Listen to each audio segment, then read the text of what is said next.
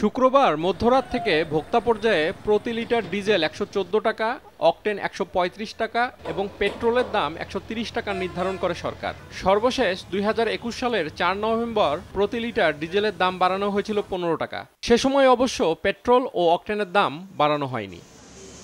এরপর ইউক্রেন যুদ্ধের জেরে বিশ্ববাজারে তেলের দাম বেড়ে গেলেও দেশে আর বাড়ানো হয়নি তেলের দাম। এতে গত ছয় মাসেই বাংলাদেশ পেট্রোলিয়াম কর্পোরেশন বিপিসির লোকসান হয় আট হাজার কোটি টাকা। অথচ ভারত সহ প্রতিবেশী সব দেশেই এ সময়ের মধ্যে দফায় দফায় বাড়ানো হয় তেলের দাম।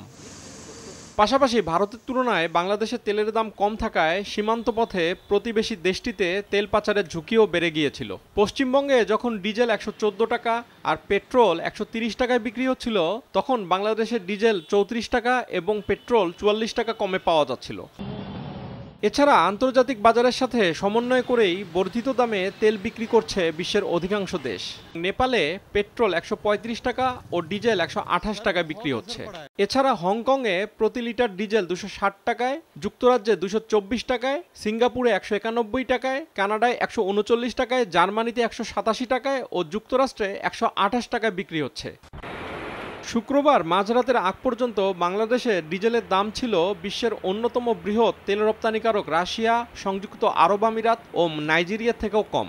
রাশিয়াতে ডিজেল বিরাশি টাকা, সংযুক্ত আরব আমিরাতে একশো ছয় টাকায় ও নাইজেরিয়ায় বিক্রি হচ্ছে একশো সাতষট্টি টাকায়। সব মিলিয়ে বিশ্বে গড়ে বর্তমানে প্রতি লিটার ডিজেল বিক্রি হচ্ছে একশো টাকায়। বাংলাদেশে কার্যকর হওয়া ডিজেলের নতুন দামের তুলনায় যা অন্তত ষোলো টাকা বেশি। রাইসুল ইসলাম, সময় সংবাদ।